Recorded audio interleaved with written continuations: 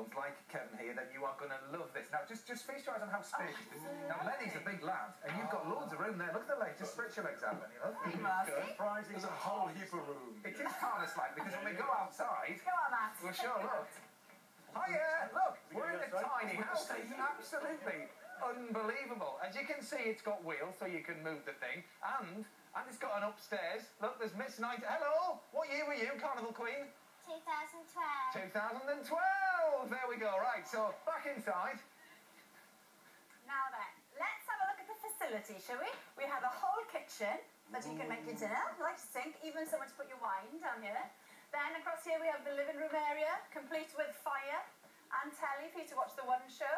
And then in here, in the bathroom, look, you can be on the toilet, how ladylike, and have a shower at the same time.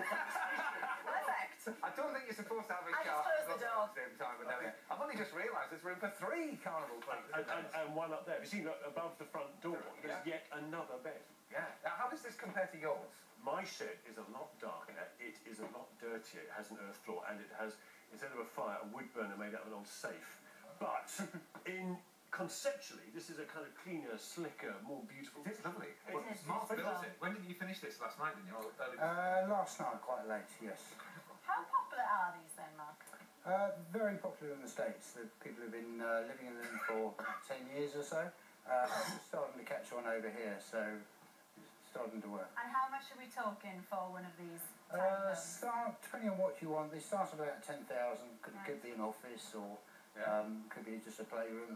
Um, it could go up to anything you want, 18,000 really. I love it. I think it's really on cute. It is, yeah. You can You can it move it. You can you can have accommodation on the road. And to be fair, there's more room in here than there is in the Premier Inn room, isn't. How dare you?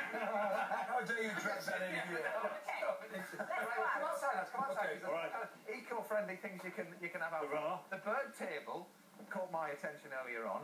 You know all about the man who made that chair. I do, I do. But let's have a look. Lenny, is this is this something that you would put outside your Look at this Troy Maxson fences there.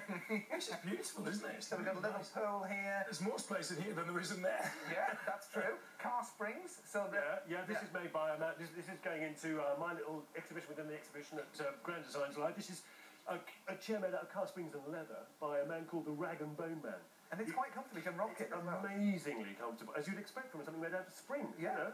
Lenny, you're in a cork chair. This is this is made from cork, so it's incredibly strangely comfortable. It's made by one couple from 26 years worth of drinking. Ah. Right? So it's the embodiment of memory, I think it's the Or- embodiment of Come on, alcoholism. Alex. or not. Alex is in is in this uh, in this hammock. Oh, Matt, this is lovely. Lovely.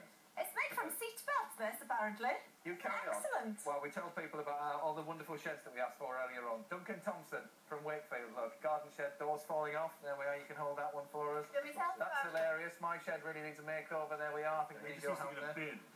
There we go. And there's just uh, basically lots and lots of sheds. Disgraceful. All right. Well, thanks so much to Kevin and Lenny. Uh, Grand Designs Live runs from the 4th to the 12th of May at London's Excel Centre. Yeah, and you can see Lenny in Fences at London's Duchess Theatre from the 19th of June. We wish you all the very best. Thank you very much. And if you do a mean impression, get in touch. We want to speak to you. Email us at the normal address. Yeah, tomorrow we're going to be joined by singer Alison Moyet. Have a great night. Have a lovely night. See you tomorrow. Bye. Oh,